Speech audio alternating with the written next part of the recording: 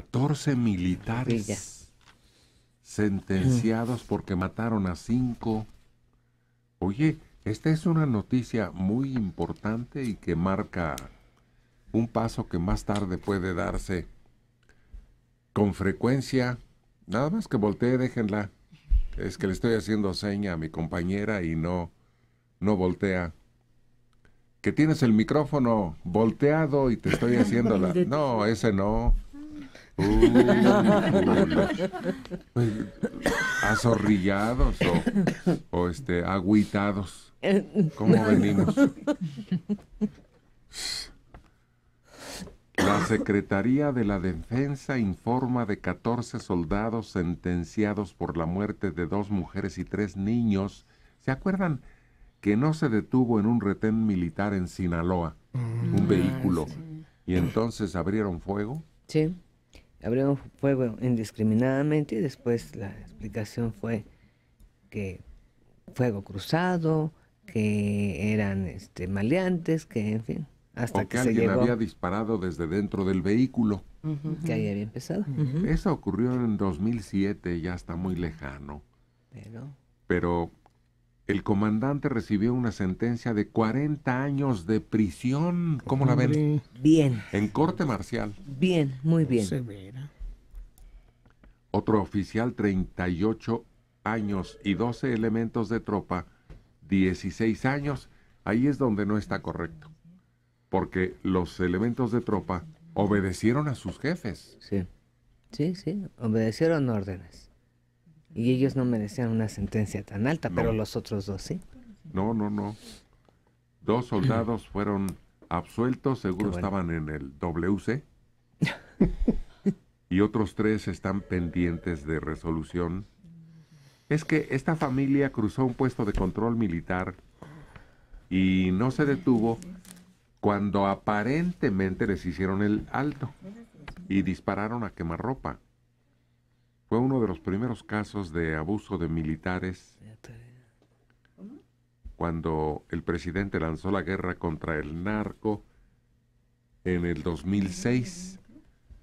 Pues repito, que los comandantes reciban penas que merecen, pero los miembros de la tropa no. ¿Qué hace siendo marino o siendo soldado o, o de la Fuerza Aérea? Porque si dos, dos desobedeces hay de ti.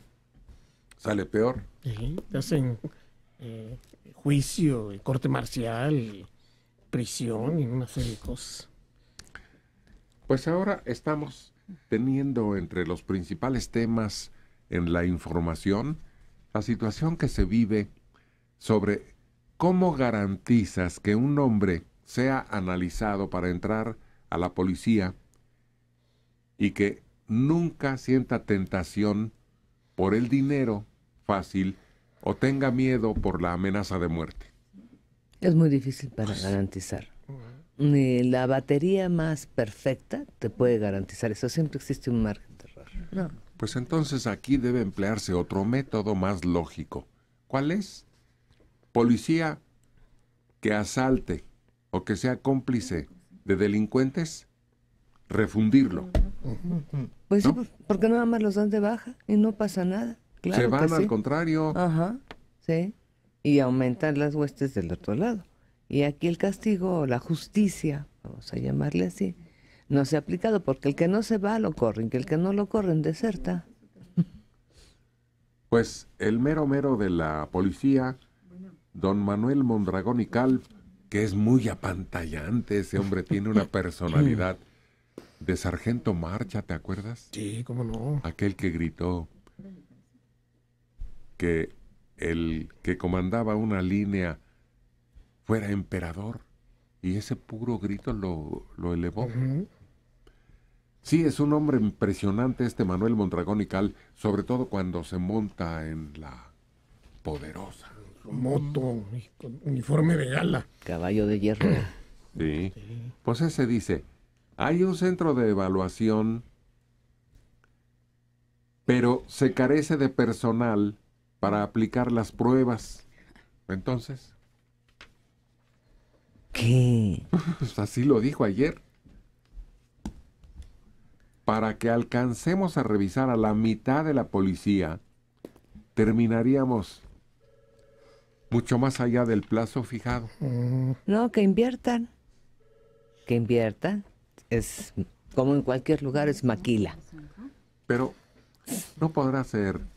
Mira, tú requieres de documentos, antecedentes, cartilla, eh, acta de nacimiento, eh, domicilio, de comprobante, domicilio. todo. Bueno, entras. Cuando faltes a tu deber, una pena máxima. De veras, para ejemplificar. Pero ¿cómo calificas a alguien? Si hoy es honesto y al día siguiente yo puedo ser hoy honesto. Mañana me convence o la amenaza de muerte o la lana. Viene. Es una bola de cristal para adivinar, no, no se puede. Hay ciertas tendencias, hay ciertas prácticas que pueden detectarse. Por ejemplo, si es adicto, pues sí, ya ahí ya No. tenemos problema, pero, a- pero aunque no, sea adicto, Mario, puede ser adicto y honesto. ¿A qué eres adicto tú?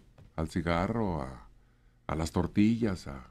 Pues eso no puede calificar a un hombre en su honestidad y comportamiento y lealtad. Pero es que es uno de los criterios que ellos usan para esa prueba de confiabilidad. A ver, salte y tráeme tres que no sean adictos. Ya, ya la totalidad del, del mexicano, igual que el gringo, y veto a saber en qué países europeos, le meten. No, yo creo que aquí se tendría que marcar una diferencia entre las adicciones a sustancias tóxicas Bueno, Bueno, y las adicciones que tú estás mencionando. no, espérate, yo hablo de cerveza, pulque, este Claro, vino, Sí, esas. yo hablo de todas. Yo las consideraría dentro de sustancias tóxicas. Pues todos le entran, Por o eso. entramos. Pero hay niveles también ahí. No es lo mismo tomar de vez en cuando a tomar diario y llegar al servicio intoxicado con alcohol o con drogas. No, no, no, no tiene que ser un criterio de selección. Pero ¿no ves que muchos delincuentes que eran policías trabajan en su tiempo libre como tales? Pues sí. O sea, ¿De, de qué los acusas? El que se emborracha todos los... Conozco amigos este, conocidos que son de buró. No toman más que cuando están en su casa y cuando ya se van a dormir. ¿Eso los elimina? Pues no. Eh, Pues entonces, ¿de dónde vas a sacar gente angelical, bien portada y, y que certifique que nunca en su vida ha tenido una tendencia tal? O repito, cuando a última hora lo amenazan de plata o muerte, pues le entra. Sí, pero ahí ya hablamos de otra cosa. Aquí se requieren castigos enérgicos Duros. para quien se pase con uniforme de, de guardián público al enemigo. Sí, una norma para los servidores públicos, sobre todo a- aquellos que están encargados de la seguridad. Ahí sí, una norma, un- una escala especial para castigarlos y sentenciarlos. Porque si no es el- la delincuencia, son los mismos jefes. Hay un grupo de policías que están ahorita bajo investigación y siguen cobrando. Y ya hay seis o siete o diez que ya fueron de baja y siguen cobrando. Y entonces a la hora que se hace la auditoría en este lugar, se dan cuenta que hay pues, cerca de 70 o 60 elementos que no aparecen, pero que están cobrando. Entonces da lo mismo, que sea la delincuencia o que sean las autoridades, que a un nivel de corrupción siguen protegiendo no a sus elementos, sino a sus compinches. Dora, aquí hay un gobernador y un general de división en la cárcel. ¿Cómo vas a certificar a personal de tan alta graduación? Está equivocado, no se van a poder nunca garantizar mediante un análisis, un examen o la del polígrafo famoso, que ni siquiera está aceptada su uso en, entre los tribunales de ningún país. Es costoso, muy costoso. Es largo porque se lleva por persona varias semanas y finalmente si no logran pasar esa evaluación, ¿qué se va a hacer con ellos? como decían hace unos días, los van a echar a la calle, miles de policías en la calle. ¿De qué se trata? No, no es posible. Hay que tomar, yo siempre he estado de acuerdo, funcionario público, incluyendo policías, que falten, que utilicen su puesto para defraudar, para robar, para lo que sea, a la cárcel y pena de muerte, como lo hacen en otros países. El hermano de un presidente municipal está en entredicho y ya embarró al otro, que es presidente municipal de Monterrey, la Razábal el hermano de un gobernador al que dieron de alta como diputado y luego se echaron para atrás y se desapareció. Personajes tan altos en una relación muy estrecha con la delincuencia, las cosas se van a tener que solucionar de otro modo pero lo que están haciendo no va a funcionar.